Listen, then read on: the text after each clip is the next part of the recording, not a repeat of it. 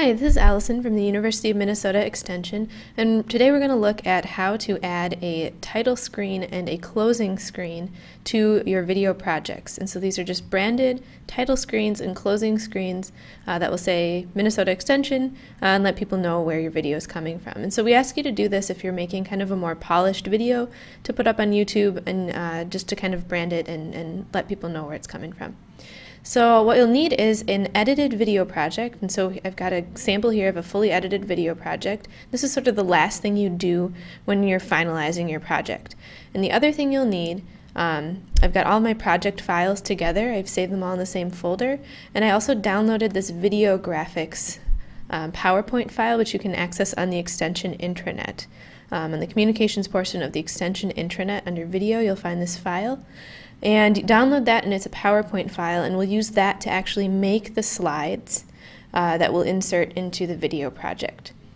So the logic behind this is basically we go ahead and edit the text of the title screen and the final screen in PowerPoint and then we'll save it off as an image file because Windows Movie Maker, which we're using, it requires you to have image files before you can insert them into the project. So we're basically using PowerPoint to generate image files, and then those image files are what we can put into our timeline here at the beginning and at the end of our project. So to do that, I'm going to open up that PowerPoint template that we have, and you'll see you have a lot of options for slides. You're going to go ahead and use the first, first slide here to write a title. Um, so my video here is about um, the Minnesota State Fair. I'm just going to type that in here. And it's a history video, so I'll call it Minnesota State Fair through the ages. Okay, now all I have to do is save off just this slide, but not as a PowerPoint format, but actually in a PNG image format. That's kind of the recommended format for you. And this slide is designed so it's um, perfect, the perfect width to fit into a widescreen video. So all you have to do to do that is click File here, Save As. Oh, and before you do that, just make sure that you have this slide highlighted, the slide that you're wanting to export. So we're just going to do the title slide for now. Make sure it's highlighted here. And then again, do File, Save As. And under this section that says Save As Type, instead of PowerPoint, choose the PNG, like I said before.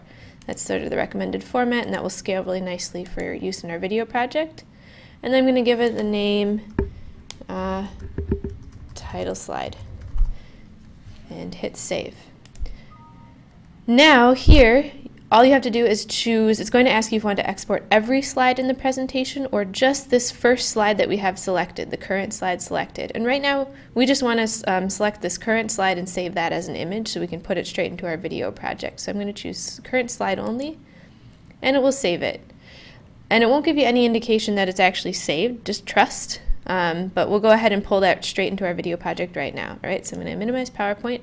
Back in our video project here, I'm going to go ahead and move the playhead to the beginning of the project because that's where we want to insert that image that we just made.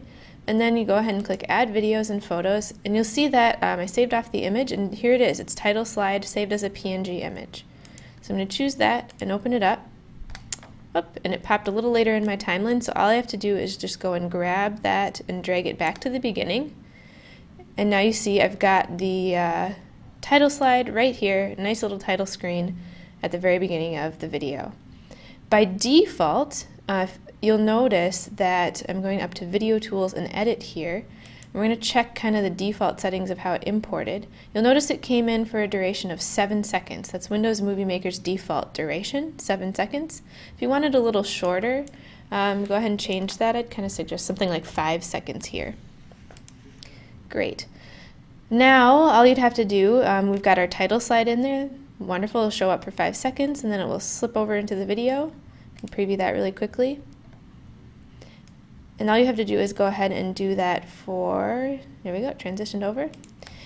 Um, also do that for the end, the final closing slide, and that's that copyright slide that we want to put in there. So you do the same thing. I'm going to go back to PowerPoint.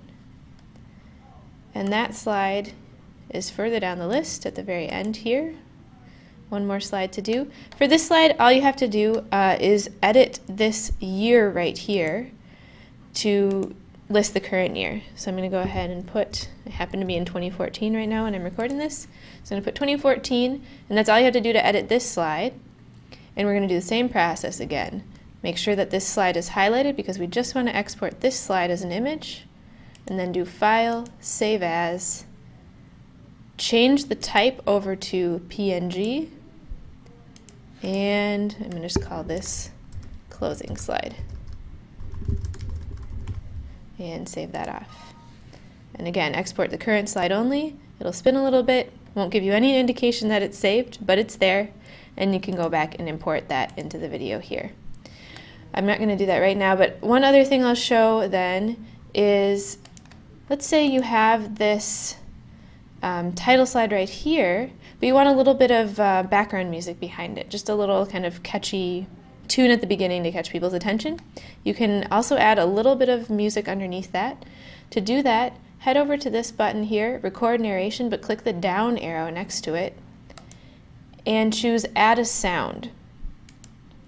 And I've already saved off this uh, sound that you can get from the U Relations website, this Driven to Discover audio. It's just a little clip of some um, Driven to Discover kind of audio sound that you can add there. Uh, you can add your own music though as well. So I'm going to put that in there. And here I've got my audio.